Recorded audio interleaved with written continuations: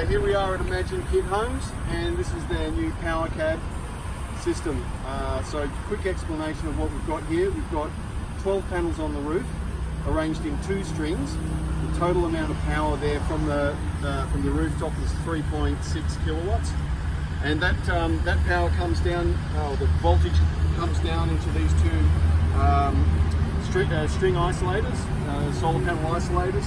That comes into the solar inverter. That produces AC, uh. Uh, the AC output of that comes into the solar bus in the little AC connection um, uh, distribution board.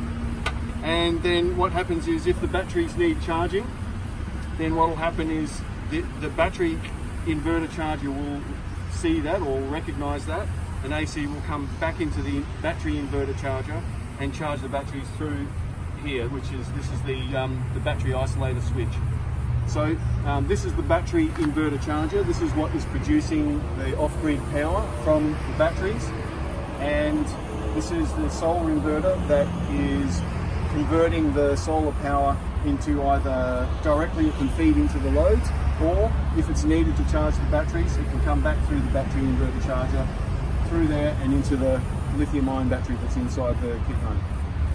Yeah, so we'll go and have a quick look at that. Is that? Uh, yeah, definitely. Yeah, we'll do that. So just inside here, we've got a lithium ion battery. Okay, so uh, so this is the um, LG Chem 9.8 kilowatt um, battery, and that's the um, the main circuit breaker there uh, for it. So that uh, has a cover here. and The cover just pops onto the top.